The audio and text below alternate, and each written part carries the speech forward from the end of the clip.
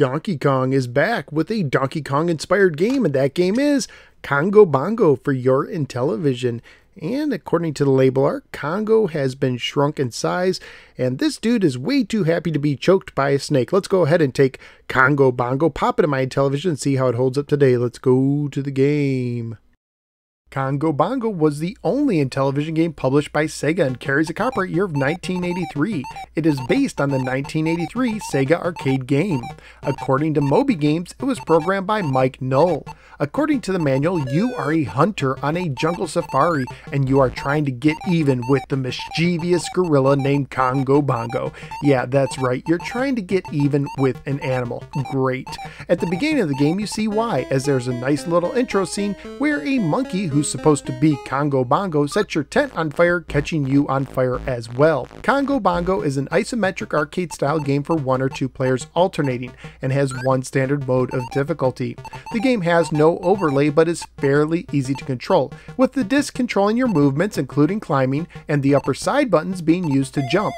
The game contains two of the four screens from the arcade game. You get three lives and you lose a life every time you are hit with a coconut, fall off a path too far, or land in the water. I'm telling you someone needs to teach these video game heroes how to swim. On the first screen you must avoid coconuts while climbing cliffs, sliding down a bridge, and jumping over rivers as you make your way to the top of the screen.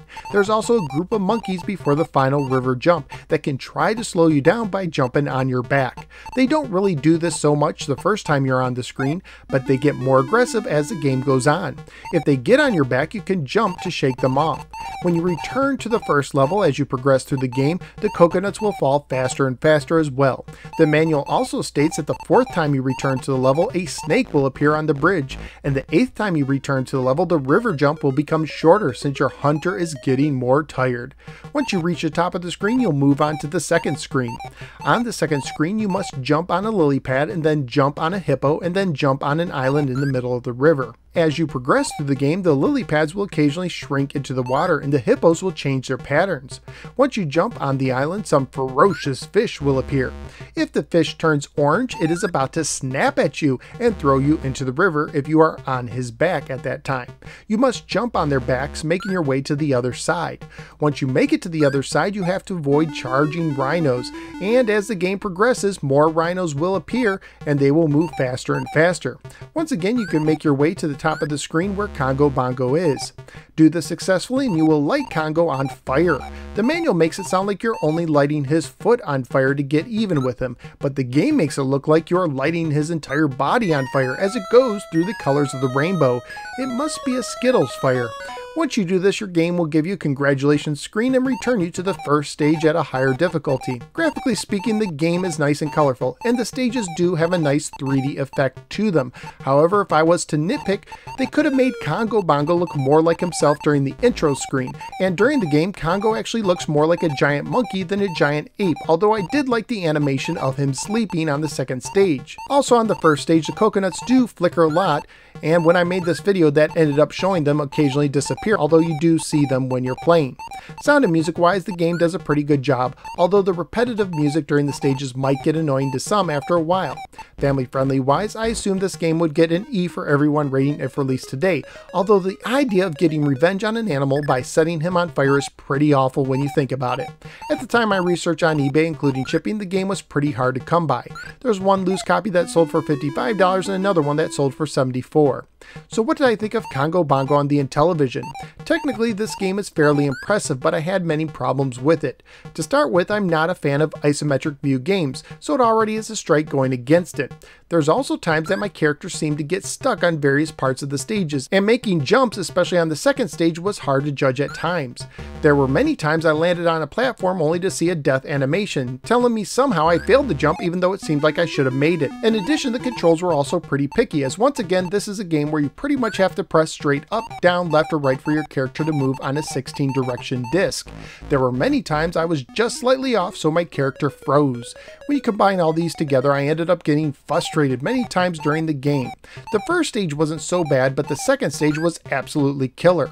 Usually when I play a game this style, I anticipate to be able to go through the first set of stages within my first handful of times playing the game, but in Congo Bongo on the Intellivision, it took me dozens and dozens and dozens of tries just to pass the second stage even once. At first I had a hard time simply jumping from the hippos to the middle platform, and then jumping on the fish became tricky. Sometimes when they turn their bodies and you're on them, you would fall off for no apparent reason. It was also very difficult to judge the final jump on the other side of the river, and simply passing the rhinos and climbing up to Congo Bongo without my character getting stuck on some invisible part of the stage was quite a challenge. Once I successfully completed the stage, I did have a great feeling of satisfaction, but not enough to overcome all the frustration it took me to get there, nor enough to make me really want to return and try and do it again. It's a bit of a shame as it's a nice looking game, but it's just not that fun for me to play. So where am I going to rank Congo Bongo on the Intellivision? To be honest, I had a hard time deciding between this and Donkey Kong, which is sitting at the bottom of my rankings. This game is better made, but at least when I play Donkey Kong, I know I'll get through the two stages rather easily. However, in the end, I will put Congo Bongo over Donkey Kong, as even with all its drawbacks, it's still more enjoyable than the trash version of Donkey Kong on the Intellivision. So out of the six games I've now ranked on the Intellivision, Congo Bongo is jumping into the 5 position. Congo Bongo on the Intellivision is a nice looking game from a distance, but is only recommended for serious collectors. So what do you think of the game? Whether you agree or disagree with me, feel free to let me know in the comments below. Also feel free to click the like and subscribe buttons and follow me both on the Facebook and the Twitter. And I'm a member of the Retro Junkies Network. At this time, I'd like to thank Jose for supporting the show at patreon.com slash gamer. Thank you, Jose. Thank you for giving me a little part of your day, and I look forward to seeing you next time in the next episode of the No Swear Gamer. Take care, and if a giant ape sets your foot on fire while you're camping, just go check into the local Holiday Inn Express instead of getting revenge on him. Trust me, it will never end well.